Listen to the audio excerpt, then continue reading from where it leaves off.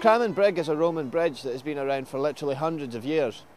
It is unknown the year in which the bridge was first built. However, inscriptions on the parapet tell us that it was rebuilt in 1619 and then repaired on numerous occasions throughout the following three centuries.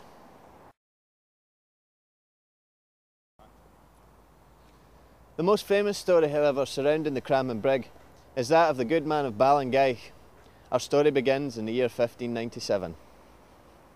The good man of Ballengeich, who was King James V, he used to dress up as a farm labourer uh, so that he could meet the common people, so the story goes. Uh, one time when he was crossing the bridge to go back to Edinburgh, he was set upon by five or six gypsies.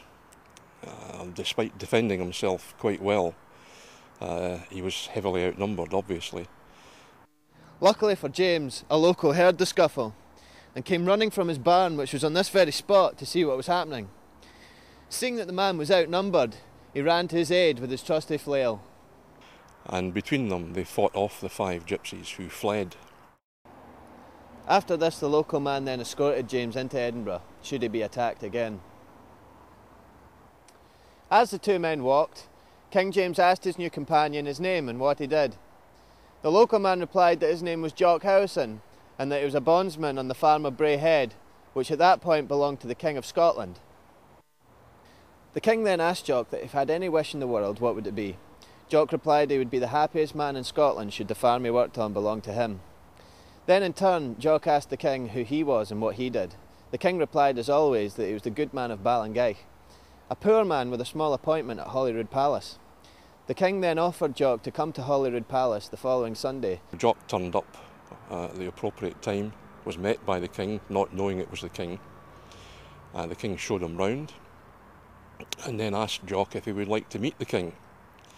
Uh, he said yes, but he said he wouldn't know the king if he saw him.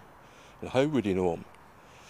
Uh, the good man said to Jock, You'll be able to recognise him because everybody else in the room will take their hats off when the king appears.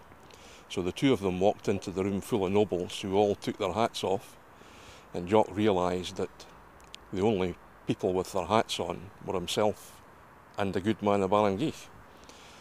So he said to the king, not knowing it was the king yet, It's either you or me that's the king. And the king said, Yes, well, it's me, of course. Um, and in due course, the king told him that he was going to give him the farm at Braehead. Cramond and its surrounding areas are rich in history. The parish of Cramond supersedes the existence of the city of Edinburgh itself. This makes Cramond Brig an important symbol of heritage for both Mid and West Lothian, and because of the story of the good man of Ballengeich, the bridge has immortalised itself in Scotland's history.